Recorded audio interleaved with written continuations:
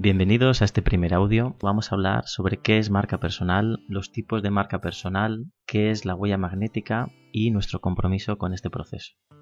Para contextualizar todo este avance que vamos a ir haciendo con la huella magnética, con todo lo que vamos a ir descubriendo, me gustaría empezar por definir qué es marca personal en genérico y qué es marca personal para mí desde toda la experiencia que llevo ya de más de 5 años.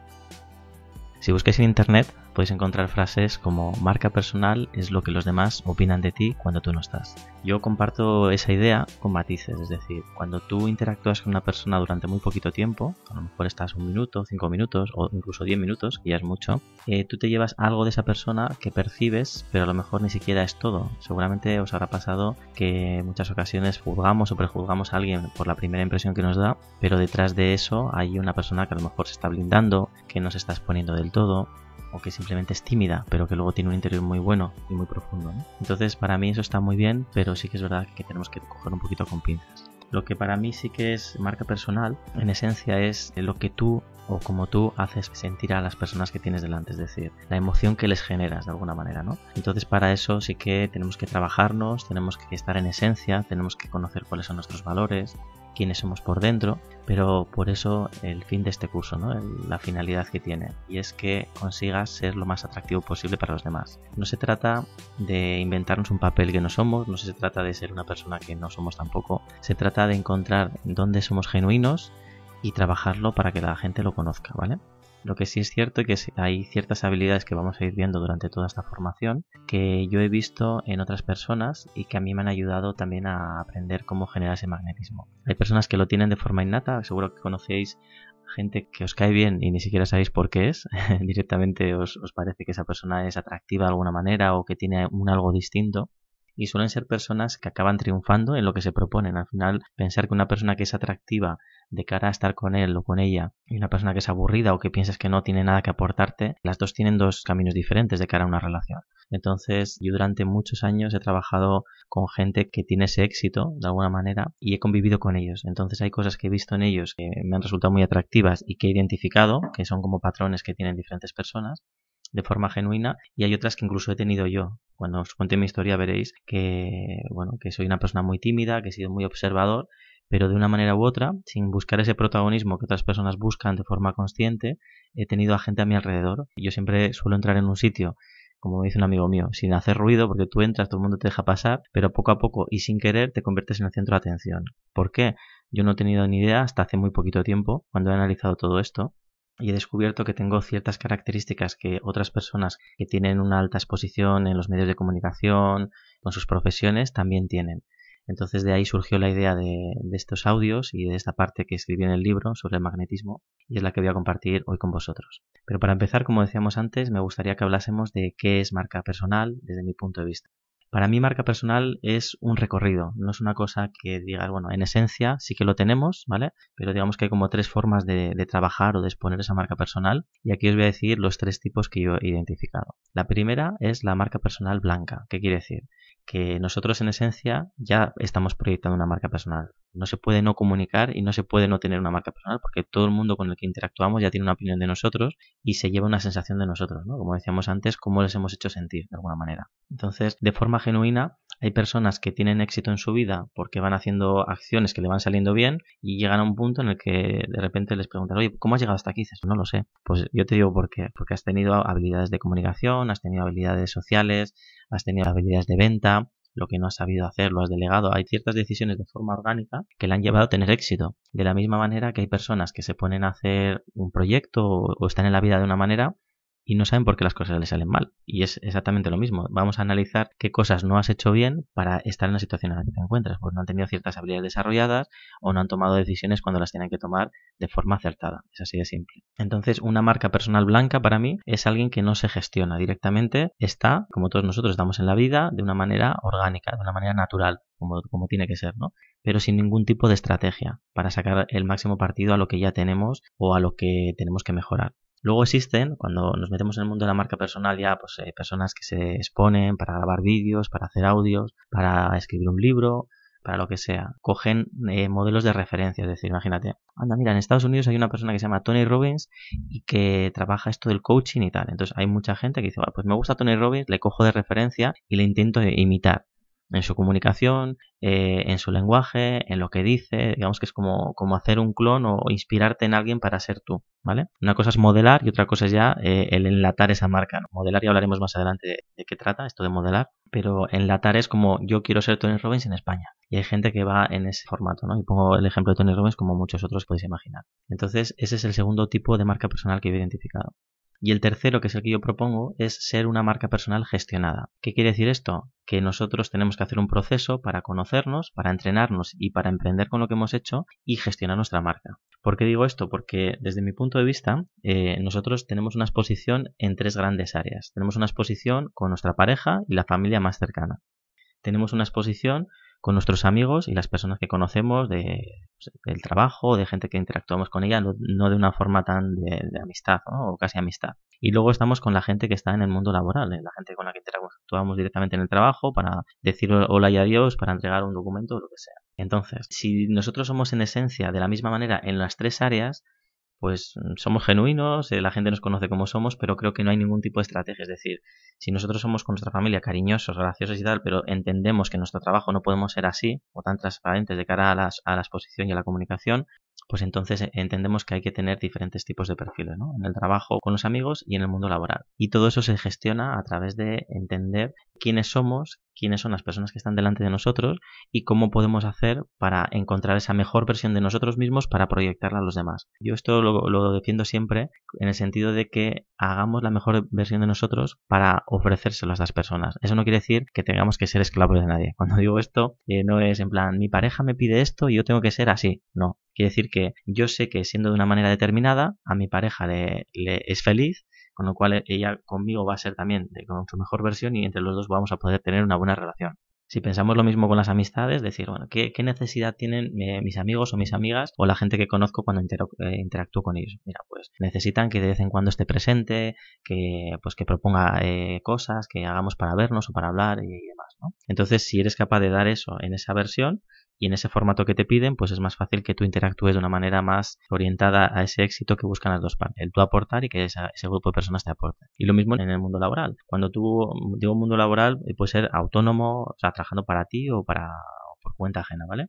Es decir, ¿qué es lo que espera mi cliente de mí cuando contrata un servicio? Porque la gente no te paga porque sí, la gente te paga para solucionar un problema que tienen y que tú eres capaz de solucionar. Pues ese formato de interacción que el cliente busca en ti es el que tenemos que primero analizar y después diseñar eh, para dar esa mejor versión de nosotros mismos. Entonces, esta sería una marca personal gestionada. ¿Cómo se hace? Pues con otro proceso muchísimo más largo, que por ahí tenemos el libro El poder de tu marca personal, las formaciones y un montón de contenido que comparto en redes sociales, pero en esencia os voy a compartir eh, en qué consisten estos tres pasos de desarrollo. El primer paso que yo propongo en este método es que nos conozcamos a nosotros mismos. Tenemos que saber quiénes somos, eh, de dónde venimos, eh, qué es lo que los demás piensan de nosotros, cuáles son nuestras debilidades, los puntos ciegos, cuáles son los talentos que tenemos, cuáles son esas creencias limitantes que nos limitan o esas creencias que nos potencian y hacer un trabajo de introspección fuerte. O sea, esto lleva tiempo, hay que conocerse, tenemos que conocer nuestro propósito para saber quiénes somos. Si tú no sabes quién eres, no sabes qué tienes que construir en adelante, qué tienes que mejorar. Entonces la primera parte consiste en conocernos, en hacer un trabajo de autoconocimiento potente para después sacar los valores que tengamos y todo hacia afuera. En esa precisamente segunda fase. La segunda fase consiste en ver qué habilidades tengo que entrenar para generar más enganche con la gente que tengo delante, cómo atenderles mejor y cómo lanzar un mensaje de alguna manera más potente. Y aquí os voy a poner un ejemplo de alguien que, por ejemplo, está emprendiendo y tiene un producto, pero que no sabe venderlo. Y el producto es muy bueno, pero ¿por qué no lo vende? Porque a lo mejor no tiene una comunicación correcta, no sabe transmitir sus valores, no hace sentir o no sabe emocionar a la gente que tiene delante cuando interacciona y no sabe vender. Entonces, estos son un, pequeño grupo de habilidades que podemos entrenar para tener una mejor proyección de nuestra, de nuestra profesión o incluso de nosotros mismos. Y a veces pasa al contrario, hay personas que tienen trabajos o proyectos que, que no son tan buenos, a lo mejor como los primeros que hemos mencionado, pero que se hinchan a vender. ¿Por qué? porque saben comunicar, saben vender, saben causar una emoción en la otra persona, saben proyectar algo que a la otra persona le resulta interesante. Entonces, esas habilidades bien entrenadas y usadas para el bien, ya me entendéis por qué lo digo, esto sí que lo podemos hacer para que tengamos más éxito en nuestra vida y en nuestros proyectos. Y la tercera parte que yo propongo en, este, en esta fase de desarrollo personal es decir, si tú ya has encontrado tu mejor versión, sabes cuál es tu talento, sabes qué es lo que se te da bien, sabes cuáles son tus valores y tal, ¿por qué no utilizo esto para poner al servicio de los demás? ¿Por qué no me voy a emprender y puedo eh, ayudar a otras personas con lo que mejor sé hacer? Entonces ahí es donde yo propongo el emprendimiento como una fuente de ingresos principal o secundaria. Es decir, si tú ya estás trabajando en otro sitio, puedes a través del emprendimiento empezar a facturar más dinero o si no estás haciendo nada o ya estás emprendiendo, mejorar tus resultados, ¿vale? Y la fase que yo propongo en el mundo del emprendimiento es partiendo del producto mínimo viable, es decir, no te gastes todos tus ahorros, no te gastes todo tu dinero en crear un producto o un servicio. Tenemos que pensar que primero tenemos que validar esta idea, es decir, yo pienso que esto puede ayudar a un montón de gente, ¿vale? Pues ¿cómo hacemos esto para validarlo? Con muy poquito dinero montamos una landing, hacemos una encuesta, hablamos con la gente y vemos qué tipo de cliente nos puede contratar y entonces lo que hacemos es hacer como un modelo de negocio mínimo, Link Canvas que se llama, orientado a la marca personal para ver si un grupo de personas pagarían el precio que yo pongo a mi producto o servicio. Si yo valido que eso tiene cabida en el mercado, doy un pasito más y entonces ya empezamos en la faceta de emprendimiento. Si yo veo que esto no tiene cabida en el mercado, buenas noticias, no vas a perder más tu tiempo y tu dinero en ello. Pivotamos, reenfocamos, empezamos desde cero, pero ahí es una forma de hacerlo con viabilidad. Y luego, por último, os comentaría que todo esto tiene que tener una especie de círculo que se cierra, ¿vale? Es decir, todo esto tenemos que enfocarlo en el sentido de que tenemos que crecer en el mundo del emprendimiento para facturar, pero la facturación es la última fase. La primera fase de todas es cómo yo eh, me posiciono en el mercado. Es decir, primero tenemos que generar confianza, tienes que generar confianza para que la gente crea en ti, para demostrar que tú eres bueno en lo que estás ofreciendo. Cuando tú haces esto, la gente te sigue y digamos que, confía en ti, generas confianza, aportas mucho valor, valor del de verdad, valor de, que, se dice mucho por ahí, no hay que aportar valor y luego la gente pone cuatro fotos o graba dos vídeos y ya se piensa que eso es. No, aportar valor es de, verdad, con las manos abiertas, compartir lo que sabes, ayudar a las personas, hacer directos, eh, dar herramientas, o sea, que la gente realmente se enamore de ti porque diga, ostras, fíjate todo lo que me está dando y de qué calidad. Imagínate, si esto gratuitamente ya me está aportando valor, ¿qué pasaría si esta persona me, me ofrece algo y lo compro, ¿no? Hasta ese nivel. ¿Qué pasa? Que cuando tú haces eso, te posicionas en el mercado, aportas mucho valor, generas mucha confianza y como consecuencia, fase número dos, empiezas a generar una comunidad. Un grupo de personas que ya confían en ti, que te siguen, que interactúan con tu contenido, que te apoyan, que están en tus directos y que realmente creen en ti. ¿Qué pasa? Que cuando tú les aportas tanto valor y empiezan a seguirte, llega un punto en que dices, vale, ya, no puedo más. ¿Qué, ¿Qué, producto tiene esta persona para yo mm, seguir este proceso? Entonces investigan y se dan cuenta que a lo mejor tienes un libro, tienes unos audios, tienes una formación, tienes una mentoría y en ese punto esas personas que ya han confiado en ti, que ya te están siguiendo, empiezan a contratar tus productos y servicios. Con lo cual ahí es donde empieza la parte de monetización. Ahí es donde la gente empieza a comprar por lo que tú les das y lo que tú les ofreces. Entonces esa es la fase que yo propongo con el método del poder de tu marca personal. Y dentro de todo este proceso viene la parte de cómo ser magnético. Es decir, vale, yo ya tengo un producto creado o estoy en fase D o me quiero reinventar o simplemente quiero utilizar esto para mi vida personal, pero quiero ser más magnético. ¿Qué quiere decir ser más magnético? Quiere decir que vas a causar más atracción en los demás, sin manipulación, sin, sin estrategias raras de estas, siendo transparentes y simplemente siendo genuinos, siendo más atractivos de una manera que yo os voy a proponer en diferentes fases, ¿vale? En todos estos audios que estamos haciendo y que estáis consumiendo en este momento, os voy a proponer puntos clave, puntos que tenemos que analizar, que tenemos que identificar, que tenemos que integrar en nosotros mismos y que luego tenemos que llevar a la acción. Porque si solo es una formación que escucháis en cada día, en cada día que se va desbloqueando este audio, pero luego no lo pasamos a la acción, no sirve absolutamente para nada. Con lo cual, mi invitación desde el momento uno, y me vais a escuchar mucho esta palabra, es ser conscientes de que tenemos que comprometernos con esto, ¿vale? Por eso también el hecho de desbloquear cada día, porque cada día, pasito a pasito, podemos ir avanzando. Si de repente desbloqueamos todos los audios desde el día 1, posiblemente os vayáis a la parte del reto o a la parte final o saltéis una parte que en ese momento creéis que no es interesante. No, se trata de hacer punto por punto, con paciencia y con compromiso, cada parte que yo propongo en este ejercicio, ¿vale? Y en cada uno de ellos. Entonces, el fin de todo esto es que os convirtáis en personas más atractivas para los demás con algo, eh, con cosas que vais a descubrir que son muy sencillas. Algunas a lo mejor las sabéis, pero no las estáis aplicando, con lo cual no sirve de nada saberlas. Y mi misión va a ser eh, dar luz a estas cosas que a veces sabemos y que a veces vamos a descubrir para después ponerlas en práctica.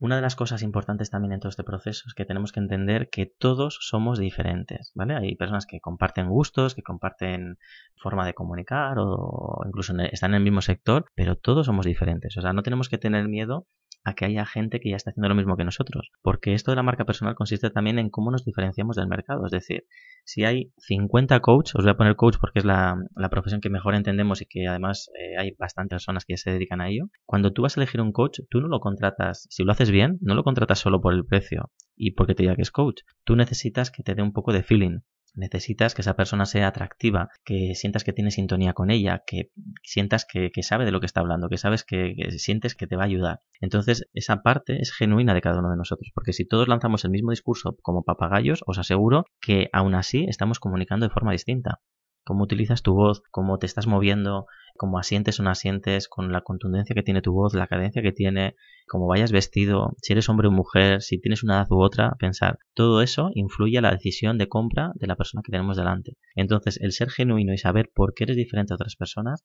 es fundamental. Y en este curso vamos a aprender a cómo descubrir quiénes somos, por qué somos genuinos y cómo poner eso en valor para que otras personas nos conozcan. Y aquí entra un poco a veces la autoestima. Eh, seguro que os ha pasado a vosotros o a gente que tenéis cerca que dices, es, yo no sé lo que hago bien, yo no sé eh, por qué soy diferente, yo no sé por qué soy único en el mundo. Pues sí, aunque no sepamos, lo tenemos que descubrir. Y en estas formaciones vamos a dar con ello, ¿vale? Todos tenemos una forma diferente de interactuar y todos atraemos a la gente que es similar a nosotros. Hay una frase de un amigo mío, argentino, que es jugador de rugby, que me dijo, Rubén, me encantan tus formaciones, te voy a decir una cosa que tú estás generando sin darte cuenta.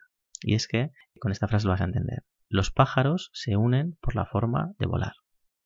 Yo me quedé callado y me quedé pensando, claro, si tú proyectas de una manera, estás atrayendo a la gente similar a ti. Es decir, las comunidades que vais a atraer, las personas que atraéis a vuestra vida, son por lo general muy parecidas a lo que vosotros proyectáis. A no ser que directamente vayáis a los grupos y os metáis, pero aún así entráis porque veis algo en nosotros que tenéis vosotros. Es decir, lo que atraemos y dónde nos metemos tienen que ver con la forma de ver la vida que tenemos nosotros o con eso que mm, esto me resulta familiar, me meto ahí, ¿no? Entonces ese ser genuino que tenemos está atrayendo o nos está acercando a determinadas personas y eso lo tenemos que tener claro cara a la exposición que vamos a empezar a trabajar. Si os comprometéis a este desarrollo que yo os propongo, vais a notar un antes y un después totalmente diferente. Eso es lo que yo os prometo con esta formación. Ya habéis comprado, ya habéis pagado y aquí viene mi promesa. os vais a ver como una persona totalmente diferente si esto lo aplicáis, ¿vale?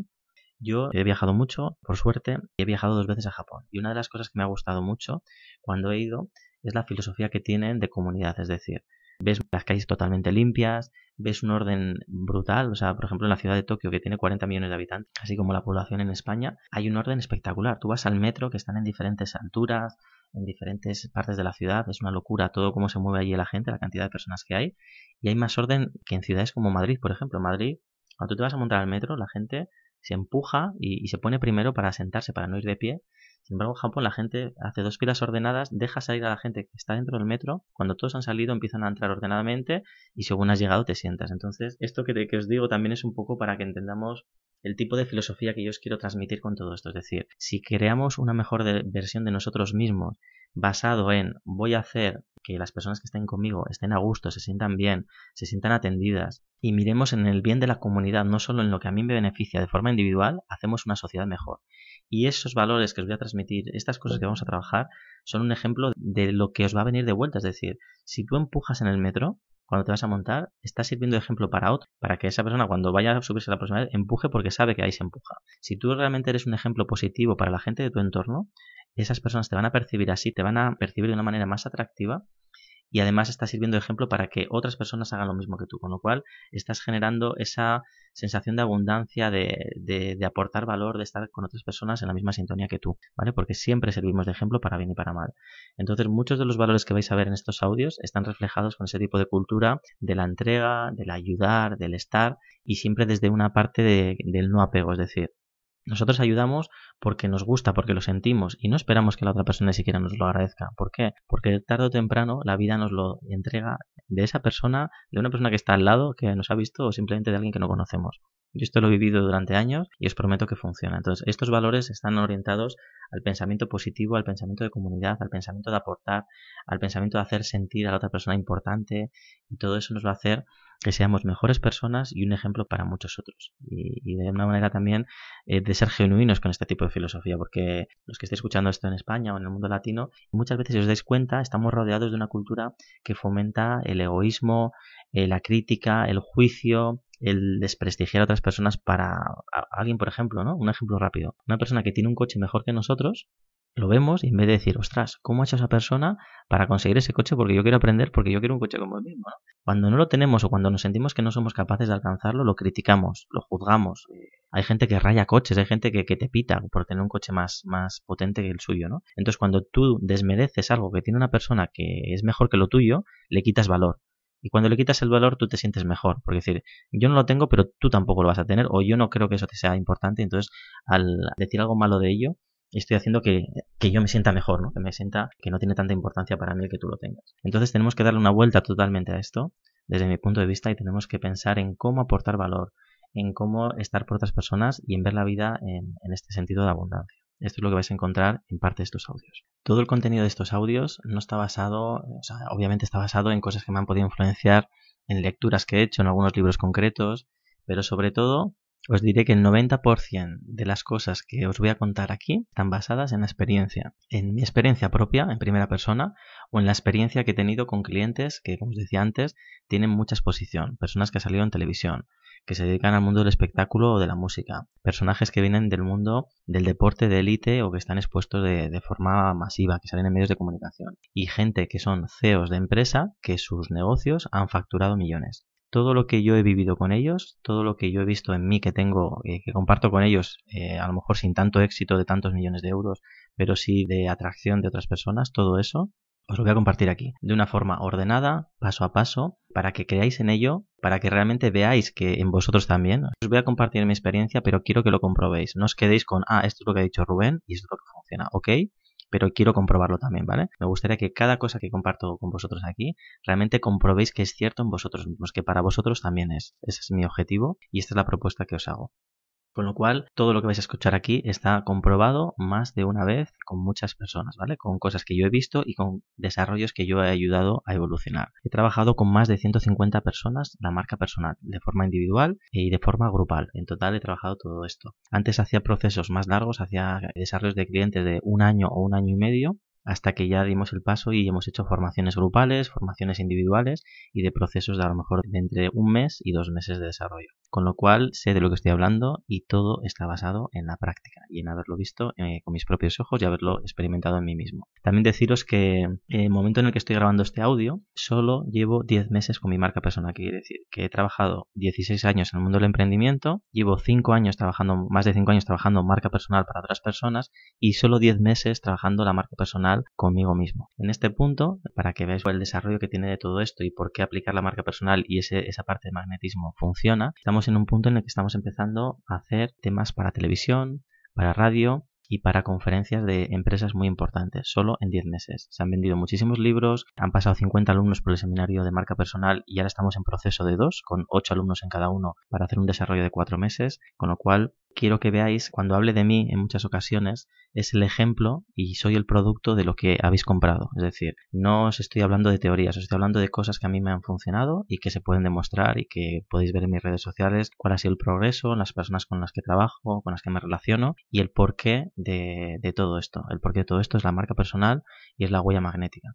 Así que me encantará compartir con vosotros todos estos trucos, todas estas cosas que yo aprendí. Más que no, son trucos en realidad, son cosas que tenemos que tomar conciencia, ¿vale? La palabra truco no define muy bien lo que yo quiero compartir con vosotros. Se tratan de cosas que están ahí, que las tenéis a veces muy cerca de vosotros, que las tenéis incluso en gente que veis en televisión, pero que no sabéis por qué tienen ese enganche. Y yo os voy a desgranar cada punto os voy a proponer que hagáis ejercicios, os voy a proponer un reto al final de estos audios para que vosotros también lo apliquéis y para que veáis que también puede estar en vosotros esa huella magnética que dejamos en otros, para causar atracción y para que las personas vengan a nosotros en vez de tener que ir nosotros a ellas. Así que para mí es un placer empezar este recorrido con cada uno de vosotros. Sabéis que me tenéis en redes sociales, en Instagram, en YouTube, LinkedIn, Facebook. Eh, a lo mejor en TikTok en un futuro. De momento el canal no está activo, pero la idea es que podamos hacer algo ahí. No lo sé todavía. Pero podéis contactar conmigo directamente para hacerme consultas, para preguntarme cosas o incluso para estar al corriente de más cosas que vamos a ir haciendo. También hay un grupo de Telegram que podéis buscar en mi página web, rubenmartinr.com y estar ahí atentos a todo lo que vamos haciendo en eventos digitales y en un futuro en presenciales. Así que de verdad que es un placer poder compartir esto con vosotros y nos vemos en las redes sociales para lo que necesitéis. Chao.